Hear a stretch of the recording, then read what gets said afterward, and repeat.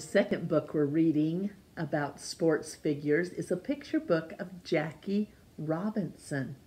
It's written by David A. Adler and it's illustrated by Robert Casilla.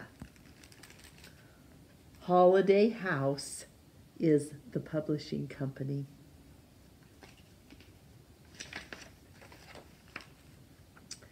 Jackie Roosevelt Robinson, or Jack Roosevelt Robinson, was born on January 31st, 1919, in a small old farmhouse near Cairo, Georgia.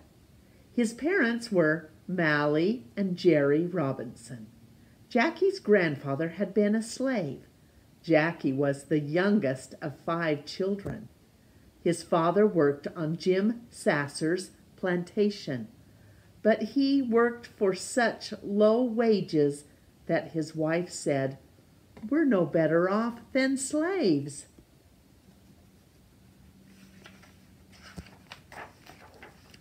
Well, Jerry Robinson complained to the owner of the plantation.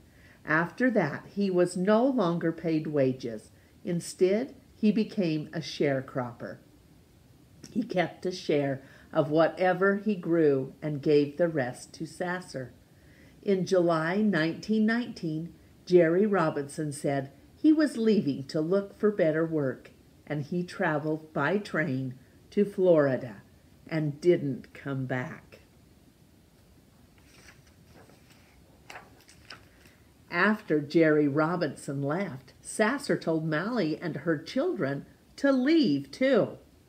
Mallie worked as a maid for a while. Then, in May of 1920, she took her family west to Pasadena, California, where her brother Burton lived. He had urged her to join him and get a little closer to heaven. For an African American family, Pasadena was not quite heaven. The public pool was open only one day a week to blacks. In the movie theaters, blacks had to sit separately from whites up in the balcony. On Pepper Street, where the Robinsons lived, one neighbor called the police because his wife was afraid of African Americans. The white neighbors cursed the Robinsons and even threw rocks at them. They tried to scare them out and then buy them out. But Mallie wouldn't move. Jackie loved games and sports. He played dodgeball, stickball, jacks, and marbles. He played to win, and usually did. Well, at John Muir Technical High School and Pasadena Junior College, Jackie Robinson starred in track and field, football, basketball, and baseball. At the University of California at Los Angeles, UCLA, he was a football hero and the first student to star in four sports. Well, in 1940 at UCLA, Jackie Robinson met Rachel Isum, a smart, beautiful nursing student. At first, Rachel didn't like Jackie. She thought he was arrogant. But they talked, and she realized she was wrong. Jackie was a warm and sensitive man. Well, Jackie Robinson left UCLA on the spring of 1941 a short time before he would have graduated. He wanted to work and earn money to help his mother. Jackie went to Hawaii, where he joined the Honolulu Bears, a professional football team willing to have an African American play for them. Well, on December 7th, 1941, the Japanese bombed Pearl Harbor, Hawaii, near where Jackie had lived. Luckily, he was already on a ship heading back to California. Following the attack, the United States entered the Second World War. In 1942, Jackie Robinson was drafted into the Army and sent to Fort Riley, Kansas. Jackie complained when he was kept off the Army baseball team because he was black. He complained too that the Camp Post Exchange, the PX, restaurant had separate sections for black and white soldiers. Jackie Robinson and other African Americans at Fort Riley applied for training to be officers. They were turned down because they were black. Well, Jackie spoke to Joe Louis, an African American, the heavyweight boxing champion of the world, and for a while, a soldier at Fort Riley. A few days later, Jackie and other African Americans were admitted to officer candidate school. Well, the Army sent Lieutenant Robinson to Camp Hood, Texas. There, on a bus, the driver told him, Get to the back where colored people belong. Well, separate seating on an Army bus was no longer allowed. Jackie Robinson didn't move. At the last stop, the military police took him to the duty officer. They argued, and in August of 1944, Robinson was court martialed, put on trial by the Army for not showing respect to the officer. Well, Jackie Robinson was judged to be innocent, but he had had enough of Army life. He was released a few months later. Well, in 1945, professional baseball was a segregated sport. There was no African Americans playing on any of the major league teams.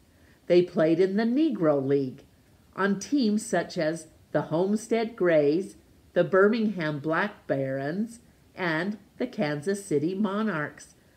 After Jackie Robinson left the Army, he played shortstop for the Monarchs. He was a good fielder and hitter and a fast, smart base runner.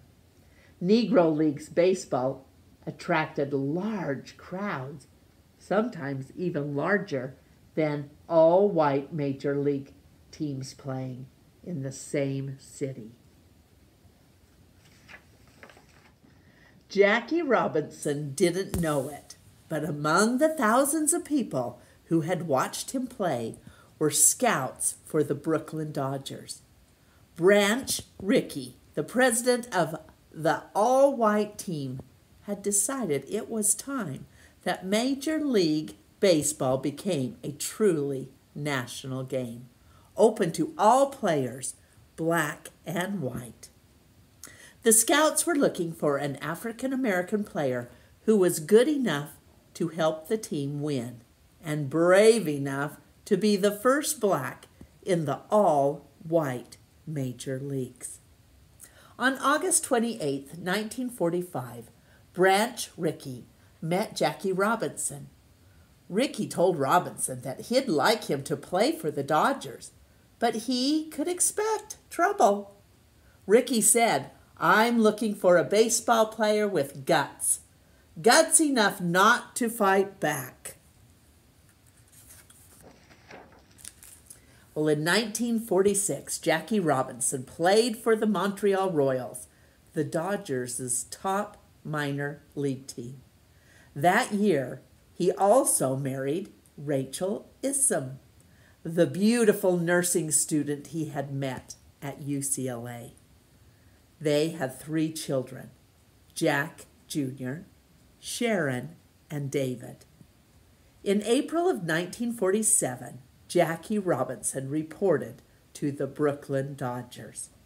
Well, at first, in some cities, he could could not stay in the same hotels as his white teammates, nor eat at the same restaurants. Ball players on other teams threatened to strike and not play the Dodgers. They insulted Robinson and even kicked him. He received letters threatening him and his family.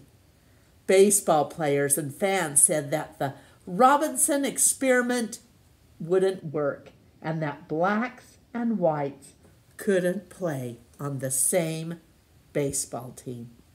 Jackie Robinson proved they were wrong. The year of 1947, Robinson's first on the Dodgers was said to be the toughest first season any ball player has faced. Well, at the end of it, Robinson was selected Rookie of the Year for being the best first year player in the major leagues. In 1947, he was selected as the most valuable player in the National League. While Jackie Robinson played for the Dodgers, the team won six National League pennants, and each time they played the New York Yankees in the World Series. The Dodgers won in 1955 and were Major League Baseball's world champions. Until after the 1956 season, when Robinson retired, he was one of the best players in baseball. In 1962, he was the first African American inducted into baseball's Hall of Fame. In 1956, Jackie Robinson was awarded the uh, Spingarn Medal for his sportsmanship and his work with young African Americans.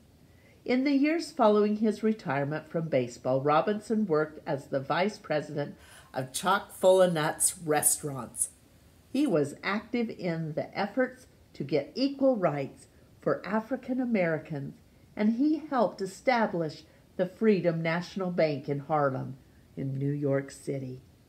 Jackie Robinson was stricken with diabetes and heart disease. He died of a heart attack on October 24, 1972. He was just 53 years old. Jack, Jackie Robinson was a gifted athlete, but it was his courage more than his ability to play baseball that made him truly great. Being the first African American player in the Major League Baseball was an important step toward equal rights for all Americans.